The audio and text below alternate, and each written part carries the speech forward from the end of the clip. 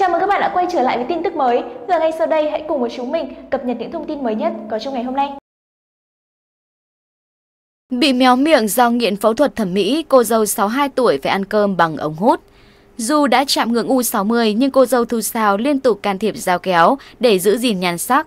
Từng bị nhiều người chê bai kém sắc khi kết hôn với chồng trẻ. Trong vòng 3 năm trở lại đây, cô dâu 62 tuổi đã rất nhiều lần can thiệp dao kéo trên gương mặt. Sau ca nâng mũi cách đó chưa lâu, mới đây cô dâu Thu Sao tiếp tục căng toàn bộ da mặt, tiêm mỡ làm đầy chán.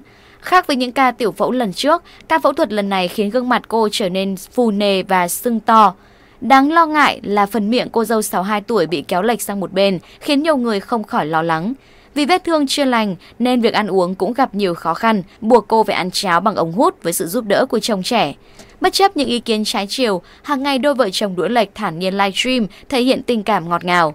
Sau khi xem hình ảnh này, dư luận một lần nữa bày tỏ sự lo lắng vì cho rằng cô dâu 62 tuổi có dấu hiệu nghiện phẫu thuật thẩm mỹ. Dẫu biết rằng nhu cầu làm đẹp là quyền cá nhân của mỗi người, nhưng ở độ tuổi như vậy, việc can thiệp quá nhiều dao kéo trên gương mặt ít nhiều ảnh hưởng tới sức khỏe.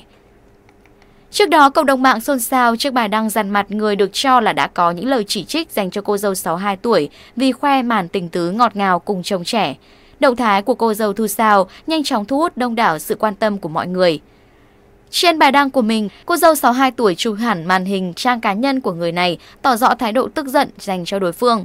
Những lời lẽ dằn mặt của cô dâu Thu Sao khiến nhiều người nhột thay cho cô gái kia. Cô dâu 62 tuổi bức xúc viết, con cứ làm sạch xã hội này đi nhé, con lấy tư cách gì, nói bà phải lấy người này người nọ cân xứng. Bà nói này, con cho bà biết hiến pháp, luật hôn nhân của Việt Nam quy định bà lấy chồng trẻ là phạm pháp không con. Các bạn yêu thương của mình ơi, vợ chồng mình yêu nhau có tội không ạ? À? Động thái bất ngờ của cô dâu 62 tuổi khiến ai nấy ngạc nhiên. Thị phi không phải ít nhưng đây có lẽ là lần hiếm hoi cô dâu thu sao lên tiếng đáp trả đầy căng thẳng như thế.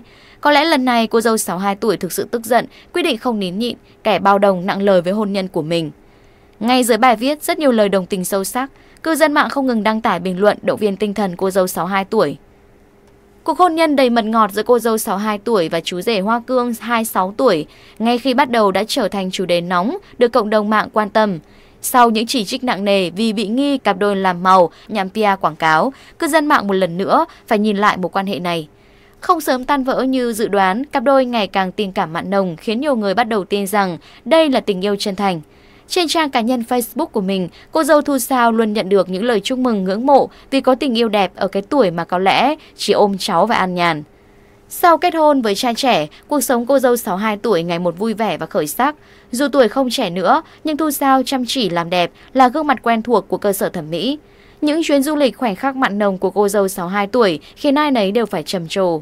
Có lẽ vì luôn nỗ lực vun vén hạnh phúc nhưng bị phủ nhận hoàn toàn và phải nghe những lời chỉ trích nên cô dâu 62 tuổi không giữ được bình tĩnh mà lên tiếng giàn mặt đối phương. Hiện bài đăng của cô dâu Thu Sao đang khiến nhiều người bất ngờ quan tâm theo dõi. Cảm ơn các bạn đã xem video. Chúng mình là tin tức mới. Đừng quên nhấn like, share và subscribe kênh của chúng mình để cập nhật những tin tức mới nhất có trong ngày đến từ chúng mình nhé.